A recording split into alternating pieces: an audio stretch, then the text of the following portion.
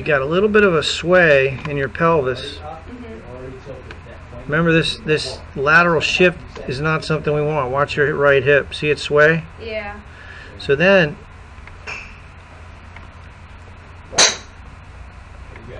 A little slow back, a little tight and. when you come through, you slide your lower body in front of the ball. See your upper and lower body move? Yeah.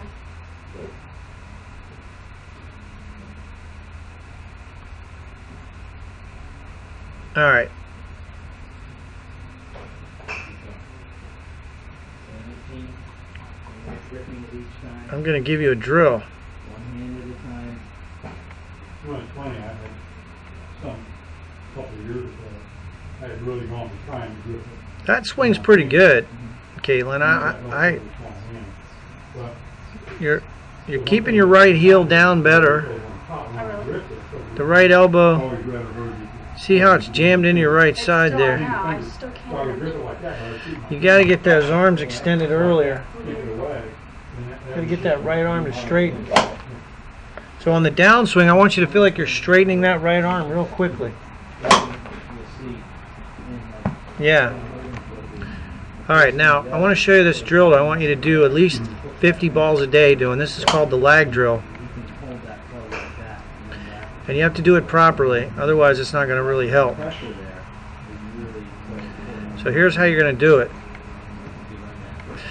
You're going to have both hands in that position. Then you're going to do what's called download. Meaning you're going to bend the elbow and bend the wrist. Watch. That's the download I want you to have. So it's a throwing motion where your right arm. So you're gonna you're gonna cock your wrist on the downswing. Oh, So watch.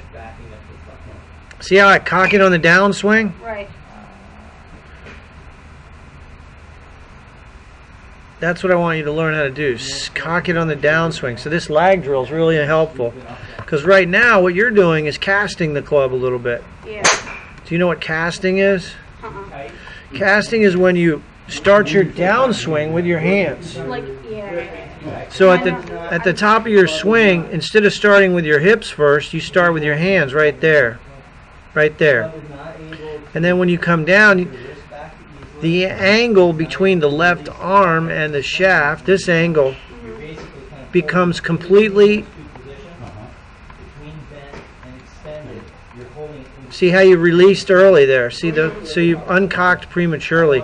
The the end of the club should be all the way to the ball before you start uncocking your wrist. Yeah. So watch me. I'm going to cock it on the downswing here.